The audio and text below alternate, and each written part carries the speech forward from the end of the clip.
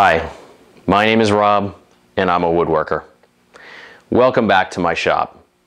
If you've been following along the tool chest build, you'll know that I've finished the front blades or dividers for the case as well as the runners and kickers.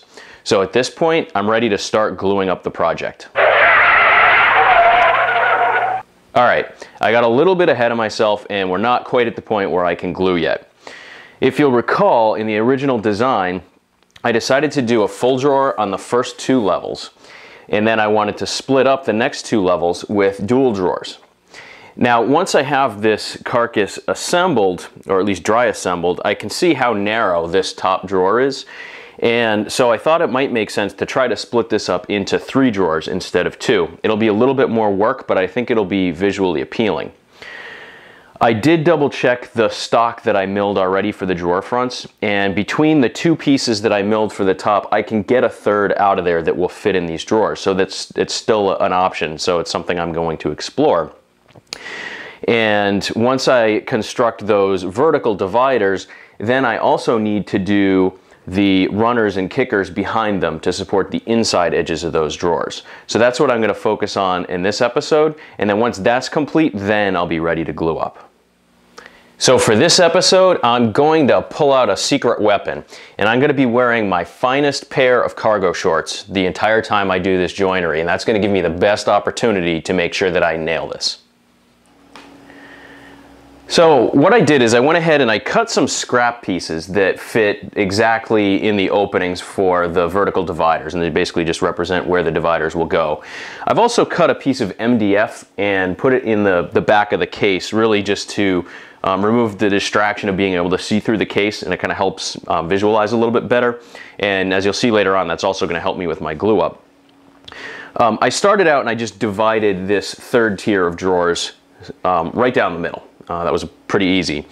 But that left me with sort of the debate of how to divide up these uh, top drawers. I started out and just divided them evenly three ways and it just looked a little bit too structured and a little bit too rigid in, in the form. So I decided to play around with it a little bit. I did one option where I had an almost square middle drawer and then I left uh, much wider drawers on the sides. I liked how that looked, but when I started to think about it, the size of that drawer was gonna be so small that it was gonna be almost useless. You wouldn't even be able to get your hand in there because it would be pretty narrow. So here's the formation that I ended up deciding on. And basically, it's a fairly simple formula. The side drawers are exactly two-thirds the width of the middle drawer. So it sort of gives some balance and it gives some uh, sort of ratio or rhyme and reason to the, the widths. I also played around with trying to use the exact same proportion from this drawer in a uh, middle drawer, but it just didn't look right. So this is the um, final kind of configuration that I think looks the best and is the most useful when I finish the piece. I don't know exactly what I'm going to be putting in these drawers, but it makes them wide enough that I can still use them and get a decent amount of stuff in there while also balancing a nice visual appeal for the, the layout of the drawers. Like a lot of the other aspects of this project, I'm going to cut these sliding dovetails into the dividers and I'm going to do it through a combination of hand tools and power tools. And this is going to be a little bit different than um, doing the, uh, the drawer blades or dividers because I don't have to actually set the dovetail into a dado this time. So I can just do a straight sliding dovetail. Now I've gone ahead and drawn kind of what the, the dovetail will look like. It's going to extend 5 16ths of an inch tall and I want to leave it relatively wide so that it's structurally sound. Now, you can see where those black marks are. That's basically the waste that I'll need to remove to cut the tails in the uh, vertical dividers. Um, I'm going to do that by machine because it would be very, very difficult for me to actually get a saw kerf into the top of this piece and cut those tails out. So it's going to be a lot easier for me to do that using my router table.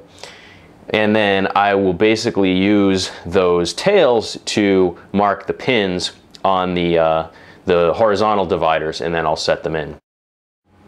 Now I'm using a tall piece of stock to cut my first tail because I'm going to cut that first tail and then line the shoulder up into my case and then I'm going to mark where that second shoulder needs to be and make sure that I've got this uh, set perfectly and so I'll, I'll cut the, the second tail after the fact and that'll make sure that I have the shoulders the exact right width.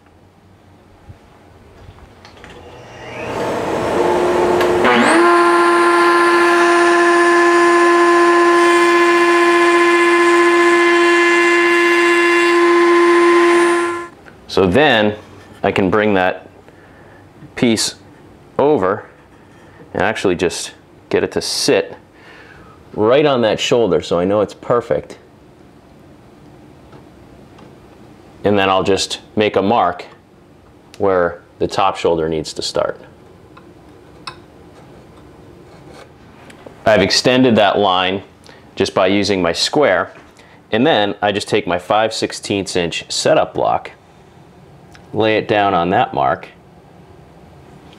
and make a second mark and that's the final length I need this piece to be. So then I just come over to my miter saw and line up my cut with that second mark.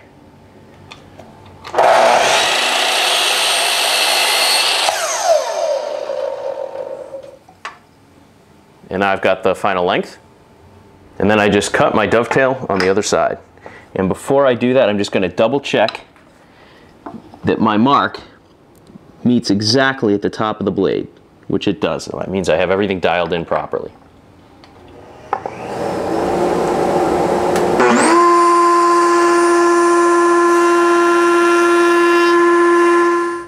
And then just a quick double check will show me that my shoulders meet perfectly between the dividers. Now, these sliding dovetails don't need to go all the way through. They really only need to go through a little bit to lock everything in place. And obviously, a uh, shorter sliding dovetail is a lot easier to cut, and it's also a lot easier to cut the sockets. So I look at this piece and I kind of decide which is the better show side, and I like this side better. I've got my marking gauge here set to the same width as the piece of stock and that's how deep I'm going to make the sliding dovetail. So I just go and make a mark off using the front of that show side and then I'll just put an X there so I know that that's the part I'm going to waste out and then I just turn it over and do the same thing on the other side.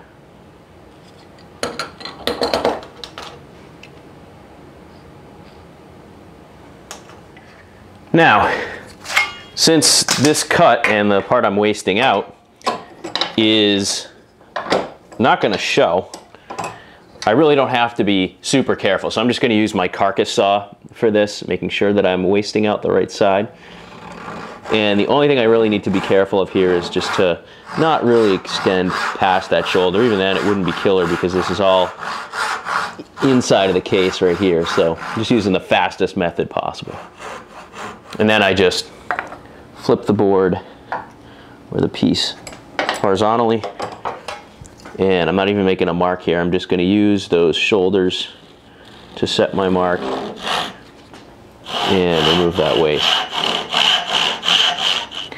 Now I have the case laying down on its back because it's going to make this um, marking exercise a little bit easier. I also still have the piece of MDF inset into the rabbet in the back of the case, keeping the, uh, the entire case square while I do this because that's pretty important. Now because I've cut out the back sides of these tails, it's pretty easy for me to just drop this in and let it sit right on top of those front rails. And now I also have my combo square set here so that the distance from the outside of the case to the inside of this vertical divider gives me the exact right width of this drawer. And then I just double check both sides and make sure that they're equidistant from the side. And then I also want to just double check and make sure that I'm still square. So I can drop my small square in there and make sure that everything is perfectly square. And that will ensure that when I fit the drawers, everything will fit perfectly. Now that I have my sockets marked, I just have the uh, board's disassembled and clamped down on the front of my bench and I actually have it flush with the front of the bench and you'll see why when I start cutting. Um, I do need to just set the a mark for the depth of the socket, which I'm doing with my combo square. I just laid that against one of the dovetails. So I'll make that mark. And then all I need to do is extend each of these inside lines down to that mark. And that will basically just set the inside of my socket. And then I just take my dovetail saw and make sure I have my kerf on the right side and I'm just sighting down so that the kerf lines up with both the top and bottom mark. And I need to get kind of low, which is why I have the board marked or uh, clamped to the front of my bench like this. Then it's really just a matter of cleaning out the waste. And the key is to always just keep making sure you've got an end to your grain. So what I'll do is just waste out small sections at a time. I don't want to blow anything out. And then I'm always cutting that end grain where the saw couldn't quite reach in there. So that way I can always just chip chunks out without having to worry.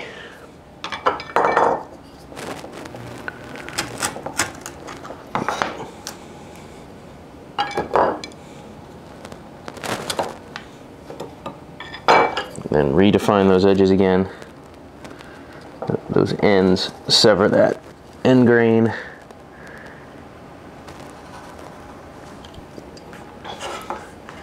And then take my next pass. It actually goes relatively quickly.